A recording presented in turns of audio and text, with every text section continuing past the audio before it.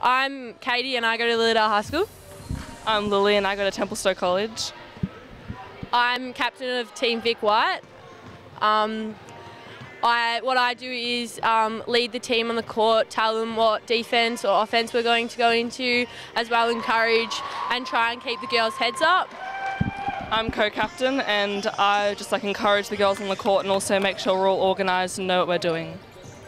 Um, a highlight probably has been getting to play with different girls, being here and being able to play sport again, um, especially for school sports as well.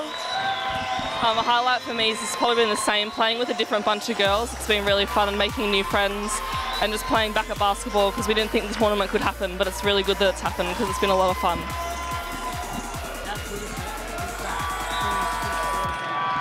It's so good. It's um, it's really great. We get to meet new people, especially like people out of state, people in state.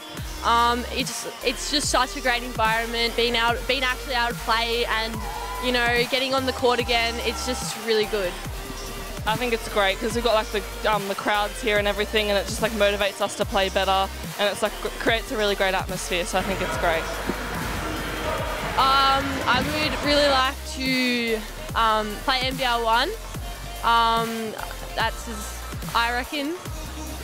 I just like to go as far as I can.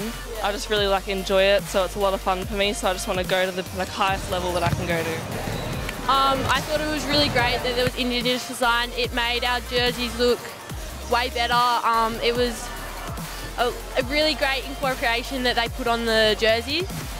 I just think it's so cool and it makes them different to everyone else's because they've got like all these designs and patterns and it just makes them much more interesting.